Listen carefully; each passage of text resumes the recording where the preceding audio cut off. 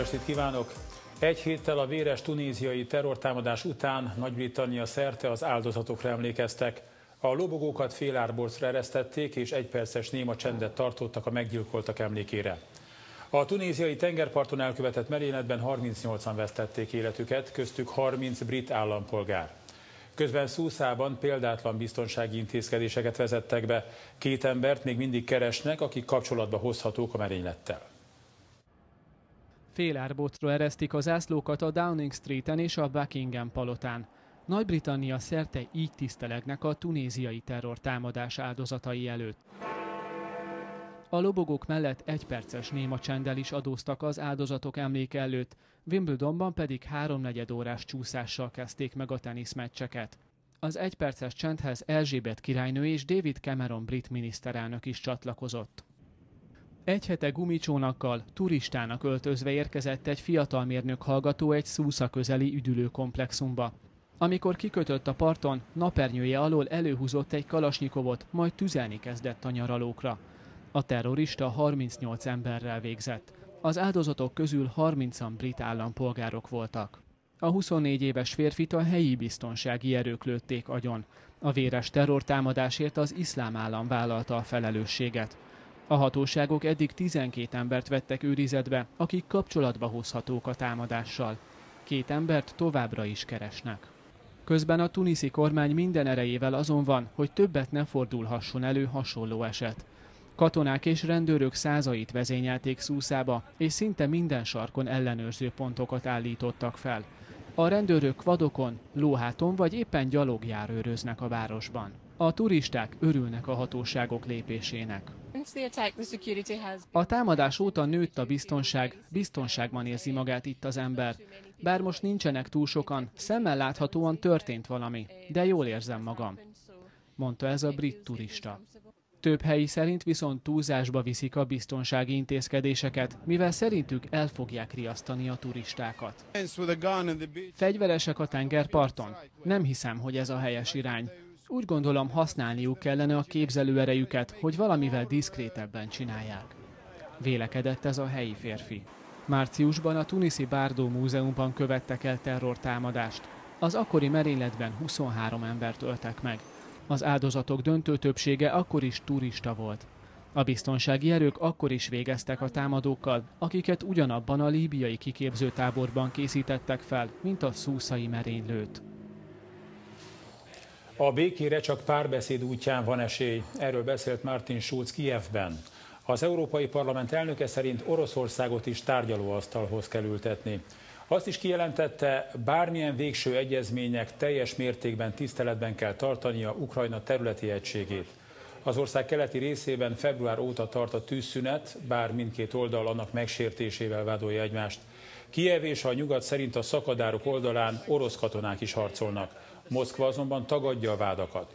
Schulz azt is bejelentette, az Unió kész az Oroszországra kivetett szankciókat bővíteni, ha a Minszki egyezményt nem tartja be maradéktalanul. Szorosnak ígérkezik a hétvégi népszavazás Görögországban. A hét elején meghirdetett referendumtól eleinte mindenki azt várta, hogy simán hozza a kormány által várt nem szavazatot, és a nép többsége kiáll a hitelezők reform követeléseivel szemben. Elemzők szerint az elmúlt napok kaotikus jelenetei, a készpénzfelvételi korlátozások is sokat tehettek azért, hogy a legfrissebb közvéleménykutatási adatok alapján már az igenek tábora látszik felülkerekedni. Alexis Tsipras közben arra kérte a szavazókat, hogy utasítsák el a zsarolást. Zsúfolt sorokban várják a görög nyugdíjasok, hogy a pénzautomatáknál felvehessék nyugdíjuk legalább egy részét. Az országban két nap múlva tartanak népszavazást arról, hogy elfogadják az ország hitelezőinek reformköveteléseit. Nem a mi hibánk, hogy ide jutottunk, nem rajtunk múlt, hogy ennyire rossz lett a helyzet. Mi itt mindannyian arra várunk, hogy egy kis morzsához hozzájussunk, és ez az igazi probléma. De mit lehet erre mondani? Elszomorító, hogy ide jutatták az országot, mondja egy aténi nyugdíjas. Az utolsó csepp méltóságunkat is elvették, nap mint nap le kell jönnünk ide, hogy valamicske kis pénzhez hozzájussunk. Egészen eddig a hétig legalább a saját pénzügyeinkről mi dönthettünk, de ma már erre sincs lehetőség. Más emberek kezelik a pénzünket, mondja egy másik nyugdíjas. A sorsdöntőnek ígérkező népszavazáson közben fordulni látszik az állás. A hét elején még úgy tűnt, az Alexis Tsipras és pártja Siriza által támogatott álláspont sima diadalt arat. A görög nép többsége nemet mond az ország hitelezői által támasztott reformkövetelményekre. A legfrissebb kutatások azonban már az igenek előnyét mérik. Vasárnap az ország Európára fog szavazni, még azok is az igenre húzzák be a voksukat, akik most még a nem mellett kampányolnak. Bonyolult helyzetben vagyunk, a kormány pedig színjátékot játszik. Ezt be kell, hogy lássuk, mondja egy férfi. Régen volt egy kisboltom a közelben. A mai helyzetemről beszélni sem akarok, nagyon nyomasztó.